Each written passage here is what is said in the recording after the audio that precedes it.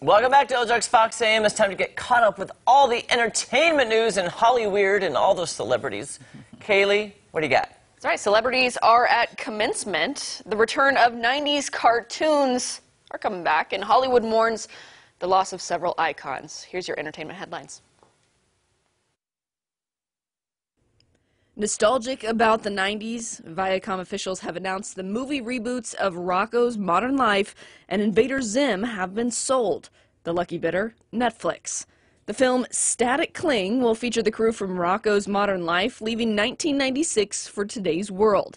And if you're craving something cosmic, Invader Zim Enter the Florpus will star the power-hungry alien named Zim as he continues his quest for global domination. Classic cartoon fans are in luck. Both movies are written and directed by the original creators, and they also feature many of the original voice actors.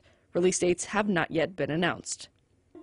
If you don't know what to name your kid, maybe an episode of Game of Thrones will give you some ideas. Data released from the Social Security Administration shows a large increase in Game of Thrones character names among children. Excluding Jon's and James, more than 4,500 children were given names from the series in 2018. That's up from 3,800 in the previous year. Leading the way with the most popular name in 2018 is Arya, with more than 2,500 girls and 49 boys given that name. They're followed by Khaleesi, Yara, and Lyanna. This isn't a typical graduation ceremony. Superstars Justin Timberlake and Missy Elliott were honored at Berklee College of Music's commencement over the weekend. The artists received honorary doctor and music degrees from the college's president with Elliott becoming the first hip hop artist to be given the doctorate. She'll slide the diploma next to her five Grammys. Timberlake was honored for his influence on pop music, including his 10 Grammys. When I was young, I felt like a weirdo. I felt like I, I didn't belong. And um, I look around this room and I feel like I found all the rest of the weirdos. We're all here, you know what I mean?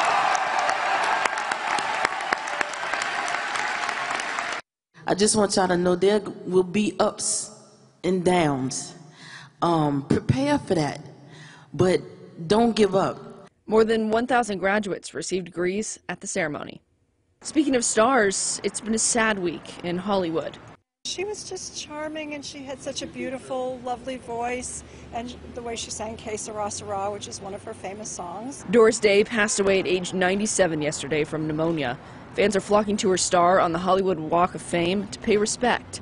Day made her mark starring in musicals and comedies like Pillow Talk and the Alfred Hitchcock film The Man Who Knew Too Much. Fans say she won't be forgotten. I remember her more for being a, a, symbol of Hollywood that really doesn't exist anymore. There was an innocence of those days, and she portrayed the uh, the nice girl in the movies with Rock Hudson and so forth. But uh, I'll, I'll remember her fondly. A member of a 60s and 70s TV cop trio known as the Mod Squad has died. Peggy Lipton, who played Julie Barnes, the blonde female member in the undercover counterculture cop show, passed away from cancer at age 72. Lipton, who was also a former model, won a Golden Globe for Mod Squad. Appearing in over 80 films, veteran British actor Clement von Franckenstein has died, according to The Hollywood Reporter. Von Franckenstein died 10 days after being put in a medically induced coma. He was 74 years old. Best known for starring in The American President opposite Michael Douglas and Annette Bening, Von Franckenstein's acting career spanned 40 years. Jeremy, you mentioned Doris Day's uh, passing yeah. yesterday. It broke um, yeah. during the show. Yes, and I loved her. My family would always get together and watch Doris Day Rock Hudson movies as a child, so I I just liked, I loved her and liked they her, and I thought they were so good together. They were good together. They were great friends, and she was just that innocent, just sweet, sweet, sweet gal. I loved her so I was much. say, like that guy said, the innocence that she portrayed was yeah. unlike any other. Yeah. Even when she tried to be mad in yeah. the movie, she never could pull it off very well because she was so nice. That guy put it very eloquently. He, she represents a a past Hollywood that doesn't exist anymore, a past innocence, a past kind of that royalty feeling of Hollywood back in the day. Mm-hmm. doesn't exist anymore, but she's class act all the way. It's gone. I wish we Yes. could interject that back in. So I, we- I'd like to see that again. Honestly, I'd love to see that again. I think that we're too open. I think we talk about things that I don't want to hear about. I mean, it's like really, why do we have to talk about all the personal things and all? Just, just leave that alone. Let's just not do that. Yeah. Also, you were talking about Game of Thrones names. That's Yeah. crazy.